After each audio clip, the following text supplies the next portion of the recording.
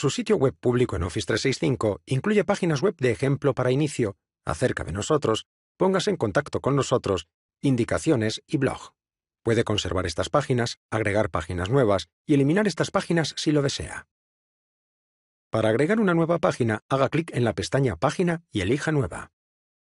Asigne un nombre a la página, como Productos, y haga clic en Crear. Ahora puede editar la página o elegir Guardar para guardarla como borrador por el momento. Voy a cambiar a un sitio web de un restaurante que inicié antes porque quiero agregar y quitar algunas páginas del sitio. Así que elijo Página y a continuación Nueva. Deseo asignar el nombre y ubicaciones a esta página. Después, hago clic en Crear. Podría agregar contenido a la página ahora mismo, pero lo haré más adelante, cuando tenga detalles de ubicación para agregarlos. Así que elijo Guardar, pero no la publico todavía. Ahora agregaré dos nuevas páginas para nuestras dos ubicaciones, así que a la primera la llamaré Seattle. Y la crearé y la guardaré como un borrador. La segunda página que crearé se llamará Bellevue. La creo y también la guardo como un borrador. Ahora quisiera actualizar la navegación del sitio ocultando estas dos páginas, Seattle y Bellevue.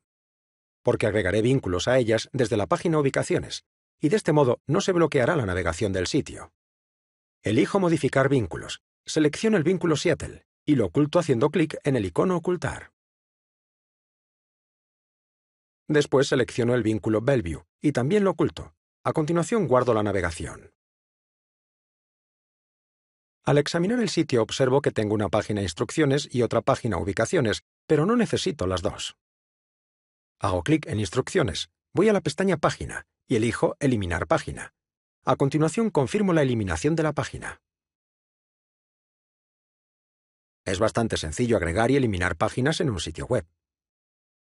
Más información acerca de las páginas en un sitio web público en Office 365.